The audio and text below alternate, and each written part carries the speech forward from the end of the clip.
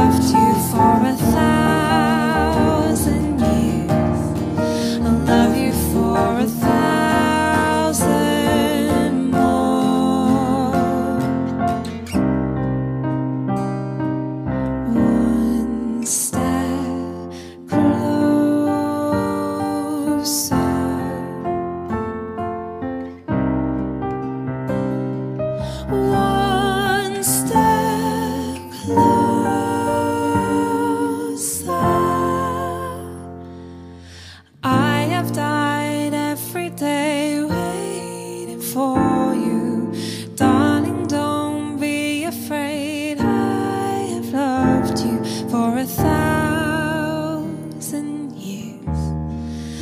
love you for a thousand